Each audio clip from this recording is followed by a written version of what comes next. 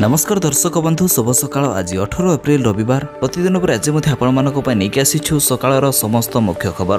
ସବୁ ଖବର ଗୁରୁତ୍ୱପୂର୍ଣ୍ଣ ଏବଂ କାମରଟେ ଭିଡ଼ିଓକୁ ଶେଷ ପର୍ଯ୍ୟନ୍ତ ଦେଖନ୍ତୁ। ଆଜିର ସମସ୍ତ ମୁଖ୍ୟ ଖବର ଜାଣିପାରିବେ। ତା ସହିତ ଚ୍ୟାନେଲକୁ ନୂଆ କରି ଆସିଥିଲେ ସବସ୍କ୍ରାଇବ୍ କରିଦିଅନ୍ତୁ ପ୍ରତିଦିନ ଖବର ଜାଣିବା ପାଇଁ।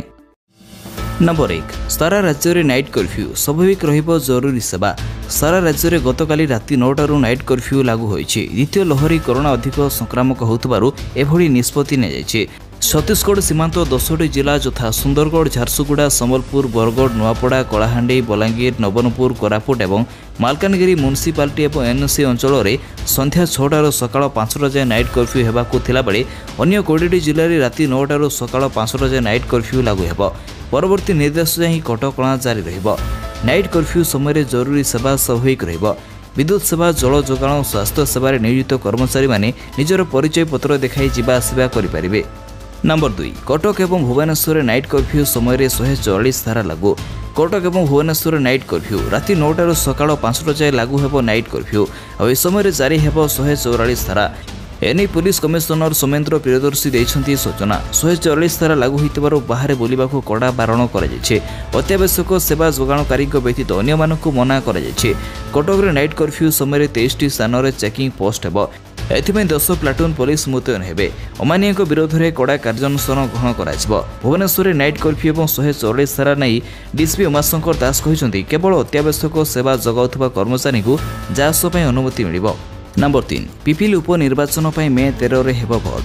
ପିପିଲି ଉପନିର୍ବାଚନ ପାଇଁ ଘୋଷଣା ହେଲା ତାରିଖ। ଆସନ୍ତା ମେ ତେର ତାରିଖରେ ପିପିଲିରେ ଭୋଟ ହେବ। ଏନେଇ ଶୁକ୍ରବାର ରାଜ୍ୟ ନିର୍ବାଚନ କମିଶନଙ୍କ କାର୍ଯ୍ୟାଳୟ ପକ୍ଷରୁ ସୂଚନା ମିଳିଛି। ମେ ତେର ତାରିଖରେ ମତଦାନ ହେବା ପରେ ମେ ଷୋହଳ ତାରିଖରେ ଭୋଟ ଗଣତି ହେବ। ଏପ୍ରିଲ ସତର ତାରିଖରେ ପିପିଲି ଉପନିର୍ବାଚନ ପାଇଁ ଭୋଟ ହୋଇଥାନ୍ତା। କିନ୍ତୁ ଏହା ପୂର୍ବରୁ ପିପିଲି ଆସନ ପାଇଁ କଂଗ୍ରେସରୁ ପ୍ରାର୍ଥୀ ହୋଇଥିବା ଅଜିତ ମଙ୍ଗରାଜଙ୍କୁ କରୋନାରେ ଦେହାନ୍ତ ହୋଇଥିଲା। ତେଣୁ ନିର୍ବାଚନକୁ ସ୍ଥଗିତ ରଖାଯାଇଥିଲା। ଅଜିତ ମଙ୍ଗରାଜଙ୍କ ଦେହାନ୍ତ ପରେ ତାଙ୍କ ସ୍ଥାନରେ କଂଗ୍ରେସ ଆଉ ଜଣକୁ ନିଜର ପ୍ରାର୍ଥୀ ଦେବ।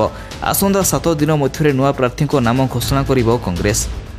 নম্বর চারি gangster Haidar corona positive gangster হাইদরকু corona RTPCR test পরে হাইদর করোনা রিপোর্ট পজিটিভ আসিছে।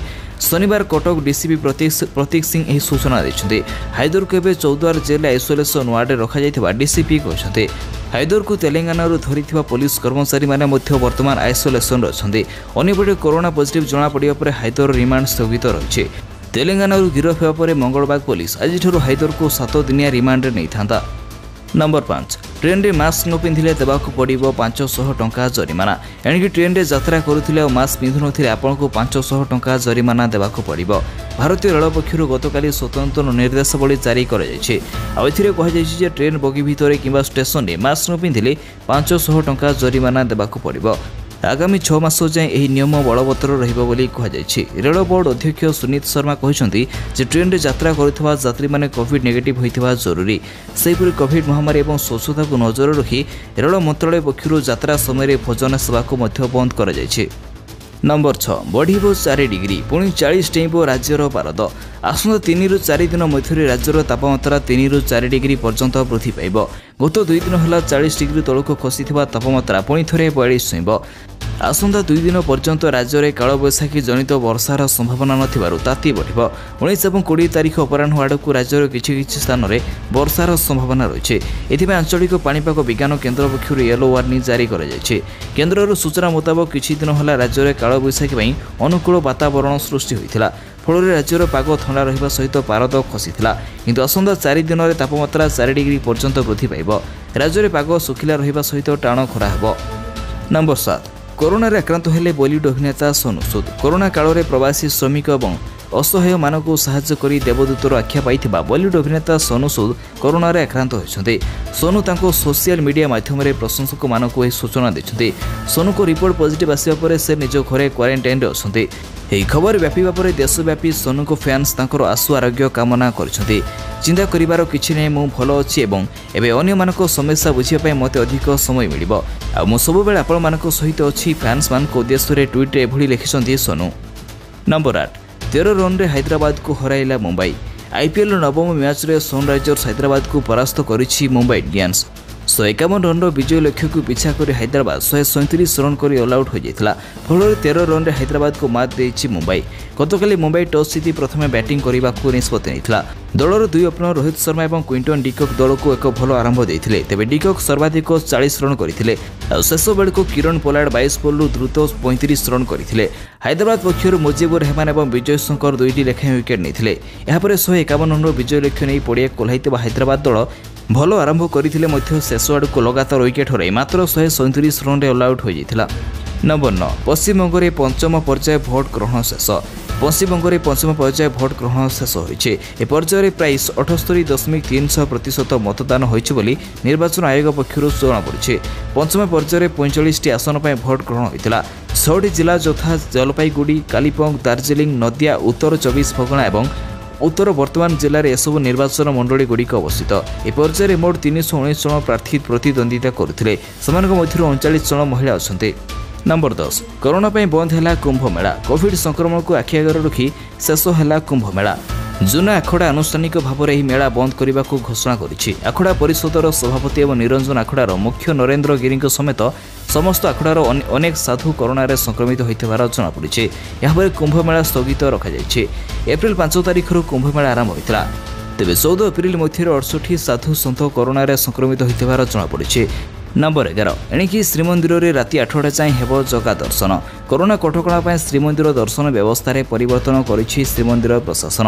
ଏଣିକି ରାତି ଆଠଟା ପର୍ଯ୍ୟନ୍ତ ଭକ୍ତମାନେ ଦର୍ଶନ କରିପାରିବେ। ଶିବିର ଆସନ୍ତା ଚବିଶ ତାରିଖରୁ ସପ୍ତାହର ଦୁଇ ଦିନ ଶନିବାର ଏବଂ ରବିବାର ଶ୍ରୀମନ୍ଦିରରେ ଦର୍ଶନ ବନ୍ଦ ରହିବ। ଆଉ କାଲିଠାରୁ ରାଜ୍ୟବ୍ୟାପୀ ନାଇଟ୍ କର୍ଫ୍ୟୁ ଜାରି କରିଛନ୍ତି ସରକାର। ତେଣୁ ଶ୍ରୀମନ୍ଦିର ଦର୍ଶନକୁ କରୋନା କଟକଣାରେ କରାଇବା ପାଇଁ ଶ୍ରୀମନ୍ଦିର ପ୍ରଶାସନ ପକ୍ଷରୁ ଏକ ଗାଇଡ୍ଲାଇନ୍ ଜାରି କରାଯାଇଛି। ଏହି ଗାଇଡ୍ଲାଇନ୍ ଅନୁସାରେ ଆଣିକି ରାତି ଆଠଟା ପର୍ଯ୍ୟନ୍ତ ଶ୍ରୀମନ୍ଦିରରେ ଦର୍ଶନ ବ୍ୟବସ୍ଥା ଚାଲୁ ରହିବ।